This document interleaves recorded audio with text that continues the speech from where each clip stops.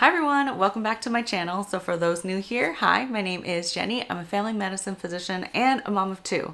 So I was just thinking about this today now that I have gone through the MCAT pre-med, gone through medical school, step one, step two, uh, gone through residency, gone through my specialty board exams. Now I'm finally a board certified physician. There are some things that if I look back, I wish someone had told me. I wish someone would have told me how to study better or how to study more productively. I wanted someone to teach me how to become a better physician and the things that are actually important uh, that contribute to that. And so, what kind of big sister would I be if I didn't share that knowledge with you now that I'm on the other end and that now that I can see the whole picture? Because in hindsight, it's 2020, right? So if you guys are interested, then keep on watching. So these tips are in no particular order. So let's start off with number one. There is actually a right way and more productive way of studying. When I was in college and even in med school, I loved to write down my notes and synthesize my own notes and then study from those notes but it was very uncommon that I would actually do test questions during my first year. So I didn't start doing questions, a lot of questions, until I started doing board studying. And the studies have shown that recall is actually what allows you to study and retain information better rather than just reading through or um, synthesizing your notes. Their studies have shown that people who do more test questions and learn from those test questions are the ones who actually do better on the standardized test. Uh, if you guys have gone through medical school, have gone through even taking the MCAT, you guys know that standardized testing is not a good representation of who you are as a person or how well you will be as a doctor. It just tests on your test taking skills. So for me, English was my second language, so I felt like it was really hard to take these test questions because I was trying to understand the question stem at the same time figuring out the second ordered questions and then coming up with the answer. And so the information might be in there, uh, but retrieving it is the hard part. And so when you do question banks and test questions over and over again, you are strengthening that recall uh, to retrieve those information. There are apps out there for spatial uh, memorization such as Anki and I highly recommend that. I didn't use it because it wasn't out or popular when I was in med school, but there are YouTubers all over social media that have used it. I know Rachel uses it. I know uh, Janie from Strive to Fit has videos. Claudia on Instagram has videos. And so you can totally check those videos out if you are interested in learning more about Anki. Another method to be more productive while studying is the Pomodoro method. This was developed by Francisco in the 1980s. And basically it's saying that your brain can only focus for a certain amount of time and you will focus better if you have this time limit. It's kind of like exercising. When you know that you only have to do burpees for 20 seconds, you're gonna go all out for those 20 seconds. So for me now, even though when I'm not studying, I still try to use this method even when I edit videos. And so it can take me hours to edit one video. And so I say, okay, 25 minutes, I'm gonna get as much done in this 25 minutes as I can, take a five minute break, and then go back to doing 25 minutes. When I do actually stick to that, I find that I edit my videos a lot faster. Um, and same thing with studying. You'll find that you get a lot done a lot faster. All right, that was a long one. Uh, tip number two, I wish someone told me to invest more in my social networks.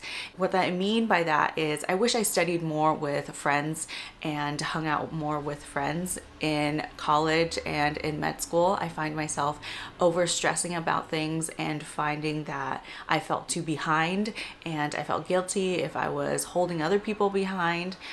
But what I found is that people who work together not only boosts their morale, but they also boost their productivity and even their test scores. If you think about it, if you're asking each other questions, you're looking at the material in so many different viewpoints. Um, because as a med student, it's hard to personally think of yourself like what is important about this information. What do you think that the preceptor or your attending or the teachers are going to test you on? So when you have multiple brains asking each other questions, asking them in different ways, your brain kind of adapts to that and learns in so many different ways. And so I think it would be really beneficial to you know, invest in those groups because it's important to have that sense of community, especially going through something so difficult like med school and residency. Which leads me into my third tip. I wish someone told me that I should go to counseling. like take advantage of the free counseling that they offered in college and in medical school because I feel that everybody goes through trauma.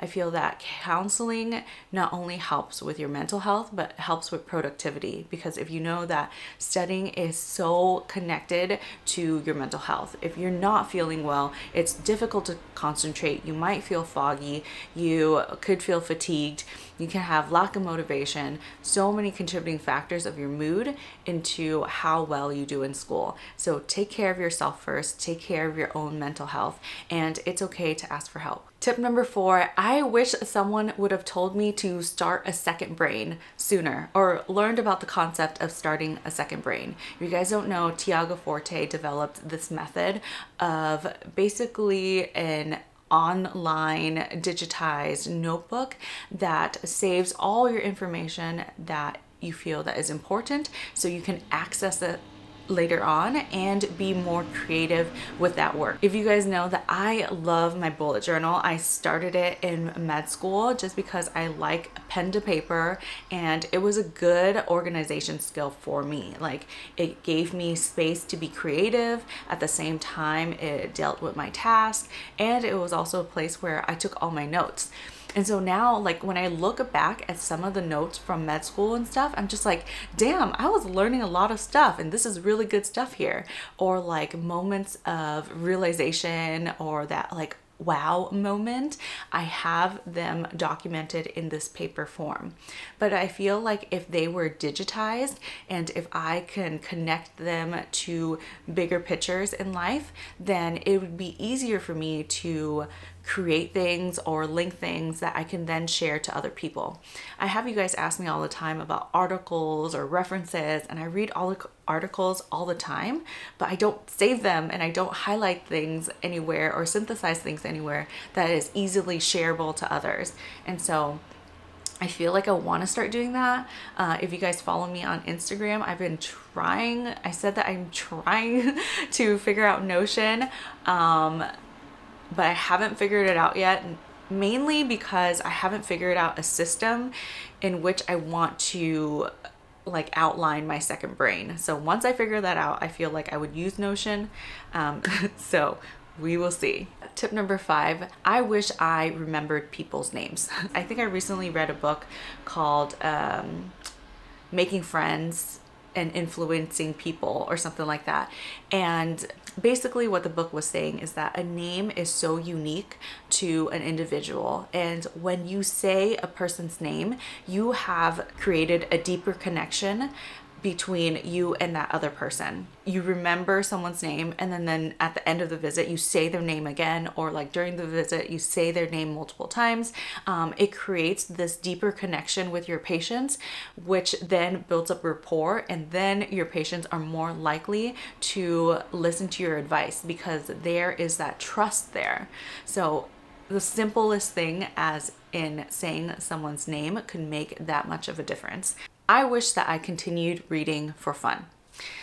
I know what you guys are all saying. You're gonna think, Jenny, you want me to study for my exams, like the MCAT, or study in med school, and work out, and clean my house, and feed myself, and be presentable to go to school, or Zoom, or whatever? yes, yes. Um, and the reason why I say this is because I know life could be busy, but it's so important to make time for yourself. And I feel like privilege occurs to people who have resources, not only to meet people in power and to learn from people of higher education, but reading is the same way. And I feel like only after residency did I have all this extra time and I'm just like, oh, I'm gonna listen to all these audiobooks and learn so much more from all these people who have been so much smarter than me. And so I feel like even after residency, I have changed so much because of the things that I'm reading. So I've made a list on my Instagram highlights of all the books that I've read so far and it is truly like changed my perspective on life made me feel a lot happier. If you guys want me to talk to talk more about books that I've read or been reading or synthesize them for you, do, do leave that in the comment section below and maybe that's a video that I can possibly do in the future. I wish that I understood more about politics and you may think of how this can help you become a better doctor. Let me explain. So as a doctor, you're gonna see everybody at least I think you're gonna see everybody. I do.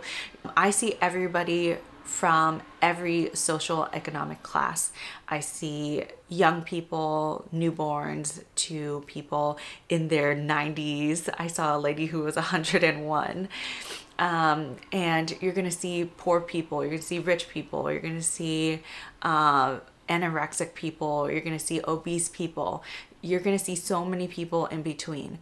And there is so much more to medicine than just knowledge base you have to have that human experience and you have to have um, basically life experience to connect with your patients. As I said previously, when you connect with someone, when someone trusts you and you build that rapport with them, they're more likely to listen to what you have to say and more likely to follow your advice. As a doctor, I'm not trying to make anyone take any medications. I'm not trying to make anyone change their lifestyle. I'm just here to give you the most evidence-based advice and then you take that information and you do what you want with it to change your life, either to take medication or to be more active or change your lifestyle. So it's a relationship.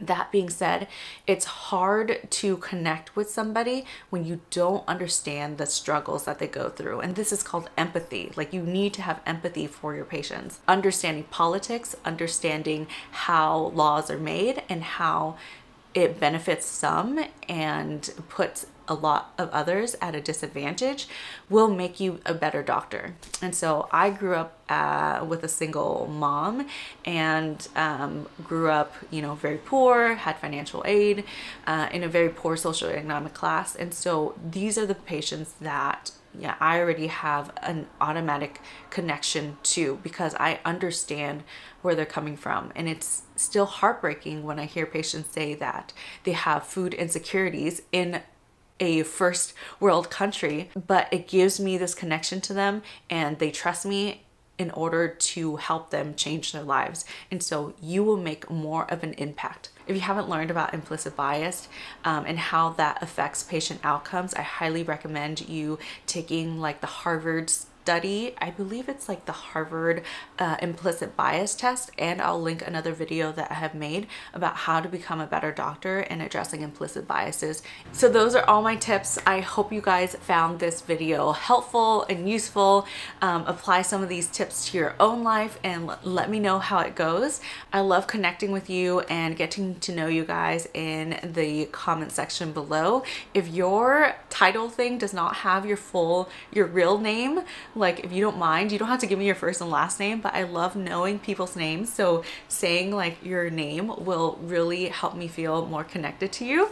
Um, so yeah uh, I hope you guys enjoyed this video. If you liked it give it a thumbs up. If you haven't already subscribe and I'll see you guys next week.